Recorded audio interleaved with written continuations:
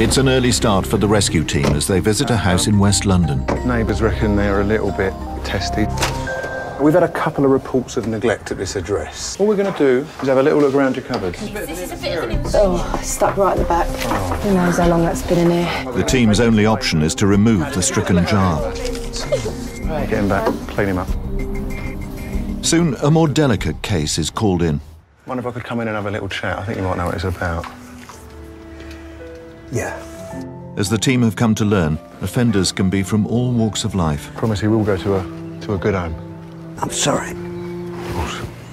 Across town, Lucy is dealing with a very different call. I don't know why you're here, to be honest with you. It doesn't take long before new recruit Callum Howe finds another jar in a shocking state.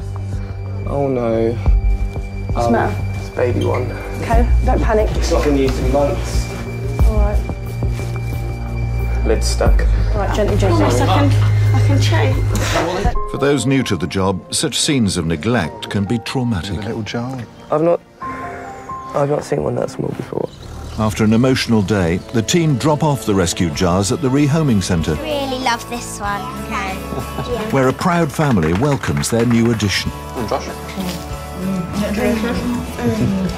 Love it, hate it, just don't forget it.